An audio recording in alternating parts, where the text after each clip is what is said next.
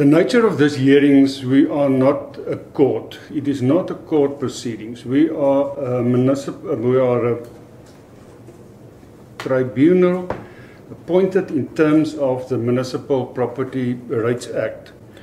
So our processes and procedures are fairly informal, but given the background of the chairperson, he prefers to follow what has been set out by the courts in terms of following the rules of natural justice, in terms of hearing evidence, and then afterwards making a decision based upon the decision that has been put before uh, the board. Our decision is final, so if any of the parties might feel aggrieved by the decision, they will then have to take the decision under review in terms of the uh, PAIA Act. So he's basically saying we have to go through the PAIA Act. What, what, what, why do we have to go through the PAIA Act? We don't have to go through the PAIA Act. PAIA has got nothing to do with any of this. PAIA is about access to information. This is about review, which would be on the basis of the Promotion of Administration of Justice Act. So he's messed it up. We need to refer to the decision of the board on the 10th of February 2020. That was a board that was constituted differently from, from this one because that was under the previous appointment by the Minister uh, for Local Government since then, that board has been replaced by this specific board. But in that instance, the board heard evidence, and the board heard evidence from, as it is, Mr. Jeffter, who was also the municipal valuer at that stage, as well as Mrs. Phillips and her team regarding the valuation. My attorney put the city on notice that I was going to sue for damages, and on the 21st of October 2019, we got a letter from Ryan Rudolph, um, Finance Treasury Department. But the letter was signed by D. Valentine, who apparently was the Director of Treasury. Valentine states that the institution of legal proceedings against organs of state, including municipalities, is regulated by the Institution of Legal Proceedings Against Certain Organs of State Act, number 40 of 2002, hereinafter referred to the Act. In terms of Section 3 of the Act, you have six months to serve the municipality with notice of intention to institute legal action in any of the above mentioned courts from the date the debt became due. Should you wish to pursue your right to compensation in court, you are advised that you must comply with the requirements set out in sections 3 and 4 of the Act. Can you explain? I don't understand this D. Valentine thing about organ of state and municipality. And I don't understand it. What does it mean? It means that if you sue the municipality, for example, you need to give them six months' notice before you issue the summons against them. You cannot just give them a week or two weeks or one month. You need to give them six months' notice in your letter of demand. And and did you do that in our case? We did that. Mr. Valentine also informed my attorney. At the outset, it must be noted that as an authority entrusted with the administration of public funds, Council is precluded from effecting compensation in instances other than where it has been found to be legally liable, such as when negligence has been found to have obtained on the part of Council or any of its employees. That's not what the City of Cape Town attorney Ron Paschke said in court. Let's remind ourselves what he said in the damages summons. One year and one month after City of Cape Town Director of Finance Valentine's letter, nine months after my GV 2018 SVO1 10th of February 2020 VAB hearing, and six months after I had served the City of Cape Town my damages summons on the 26th of May 2020. And Section 23 remains an operative exemption from liability, which is a complete answer to the totality of the claims by the plaintiff against the city and municipality in carrying out its functions under the Building Act, um, which take precedence of, over the, the general provisions of the State Liability Act. And lastly, the fifth point that um, the Building Act, the 1977 Act, is a later act and you repeal any contrary provision in the earlier act. So for all those reasons, the reliance on the State Liability Act is simply wrong in law, and Section 23 remains an operative exemption from liability, which is a complete answer to the totality of the claims by the plaintiff against the city in this case. Yes. And so, if, if that is so, um, um, could that not be pleaded? Could, could, sorry, could be pleaded by the plaintiff? By the defendant, by the second defendant. Um, the um, so, in other words, in response to the allegations in the particulars of claim, um, uh, should the second defendant or could the second defendant not simply plead that um, uh, liability is uh, excluded in terms of the, the relevant legislation, the Building Act, for well, example? That, that would still result in the, um, the if, the if the exception is good, that, that the um, Section 23 exempts the city from liability, Yes. then um, the whole point of, a, of an exception is to avoid the, the need for the leading evidence and the city being dragged into a trial to deal with all the issues of, of quantum and uh, negligence and liability when there's a there's a there's a legal defence. If that legal defence is a good legal defence, then, then that is the end of the plaintiff's case against the city. What they're saying in terms of Section 23 is that they're immune from liability in the context of building development. So when they give permissions for developers to build buildings, their consent, they can never be sued for that. They are simply not liable. But basically, okay, me as a neighbour, I have no idea what they're building, what they're doing. So a development happens next to me. There is no nothing on the outside of the building site saying that the city of Cape Town are devoid of any liability. So what does that mean as a neighbour? I mean, does that mean that uh, uh, why do I have to go to the city and complain to the building inspector? Well, that obviously is an anomaly. Why would they even have a building inspector if they weren't in some way or another responsible for what went on? But in terms of Section 23, they've got a get out clause for never being liable.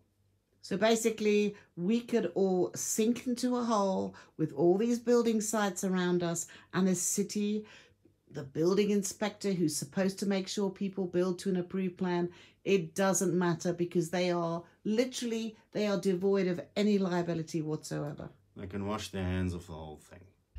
Just going back now to Mr. Valentine's October 2019 letter. He states, please be advised that the following an investigation into your client's claim, the report received from our spatial planning department revealed that no evidence of unauthorised or unlawful construction work could be detected at the neighbouring property as alleged. There are two defendants in my damages summons, and Mr. Hofmeyr is the attorney who represents my neighbour, Mr. Stuart Bradbury, who has built illegally, unlawfully into my property damaging my property and has removed lateral support. Three months after the hearing, for some inexplicable reason, he sent me a PDF um, of the engineer drawings, foundation layout, and ground floor layout, and some meaningless section um, of a Terraforce gravity retaining wall.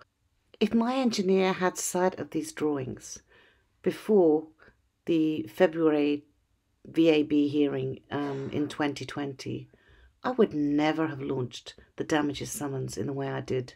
And if I had seen these drawings in 2010 and 2012 and 2013 when they were being submitted to the city of Cape Town, I would never have launched my application to set the plans aside in terms of a private agreement. I mean, th- th- this is just criminal and to expose how despicable and corrupt the city of Cape Town are. A mere four days after the Hofmeyr letter, I then get a letter from Deirdre Oliver, who is the city of Cape Town attorney, who informs me that in fact a building plan was approved in 2018. I had no idea it had been approved. and that he's got a contravention notice for another contravention, which is the lack of a balustrade on his, um, they're saying balcony, but it's actually on the ground floor roof. Now, these are all structures that were subject to my High Court matter 15570 2013, where Honourable Judge Bozalek had walked onto a site at a court site inspection and was categorically assured by both the City of Cape Town and first defendant Mr. Bradbury that all structures had been built to a 2012 plan. That's perjury. I, I, I cannot understand how the city can defend such criminality. And all communication I have with the valuation department, Martin Coetzee, has to go through him as Shaheida Samodian Azad. She's the head of communications and valuation disputes. And oh, look at this. She works for the finance directorate. You tell me she doesn't know what's going on? The board was not aware that this is a matter that has been dragging since 2010. The board certainly did not know that at that stage. Chair Coetzee's statement is not credible. He's not telling the truth. On the 7th of January 2020, one month before my 10th of February hearing, I asked him to look at a YouTube film. I went into incredible detail of the fraud and corruption in this email, even giving him the Corruption Act references. I also sent this email to Valuation Appeals, um, who basically is Shaheida Samodian Azad. If I had any idea she worked for the city of Cape Town, I never ever would have involved her in my emails. I CC'd this email to Daniel Plato, um, who had met with me and my attorney on the 31st of May 2019. He promised an independent attorney would look into the matter and investigate. This never happened, and in fact, he ignored every single one of my emails after the meeting. I sent it to the leader of the DA's office. I sent it to my DA ward councillor, Nicola Jowell, sent it to my attorney, and also to Ryan Rudolph from uh, the Treasury, and also Helen Zille. Uh, and in fact, I'd been assured by Miss Zille that she had spoken to excellent individuals who assured her there was no fraud in my matter. Within the body of the email was a YouTube link to a film I made, which was one hour and eight minutes long. It went into infinite detail of the fraud of the illegal building works. I expressly said if Chair Coetzee could not see the film prior to the hearing, I would be insisting that we watched it during the hearing. Um, the film actually ended with a letter from Helen Zille, um, which stated that she had been in touch with the city and had been assured that there was no fraud in my matter um, you know, according to excellent individuals that she'd spoken to, but she was refusing to tell me who the excellent individuals were. My 7th of January 2020 email continued. I explained to the Chair Coetzee that the High Court application where the neighbour in the city under oath had said my neighbour had built to approved 2012 drawings when he hadn't, that they were lying under oath and they were giving contravention notice for structures that they'd said under oath had been built to an approved plan. They'd excavated five metres, you know, and into my property and to the abutting property. I reasonably requested that the, the VAB hearing an independent engineer not affiliated to the city could liaise with my engineer referring to his reports that were endorsed by a second engineer, a town planner and a Santam insurance um, loss adjuster. The city didn't send anybody to the hearing as I'd reasonably requested. The only person that tipped up was Angela Jepp, the, the valuer um, and which is why my engineer brought all of his evidence, uh, but he would only answer questions because nobody at the hearing was a qualified civil engineer. My 10th of February 2020 VAB hearing decision came out on the 28th of April 2020. Bullet point 16 clearly states In light of the aforementioned, it was the board's unanimous decision not to confirm, revoke, or amend the valuer's decision, but to direct that the 2015 GV valuation should remain in place until such time as to when the above mentioned concerns have been addressed or 30th of November 2020, whichever date occurs first. We were in the middle of COVID and I had to adhere to the Disaster Management Act. So I decided to organise a, site inspection of my property and to give the city enough time. I'd already got a quantity surveyor's report and I was ready for them to do a site inspection of my property so that we could all adhere to the Disaster Management Act um, as there would be a number of people attending my property to do a site inspection.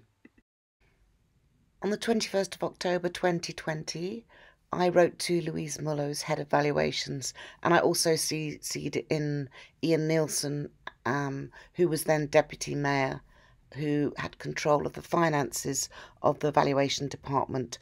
I also copied in um, the city attorney, Deirdre Oliver. I had to inform them in this email that it was now the 21st of October, a month away from the deadline given by the Valuation Appeal Board in my bullet point five, I state Angelo Jephthah is visiting properties in the area as he has visited my opposite neighbour, Ray Van Geems, Erf 59, and returning her emails.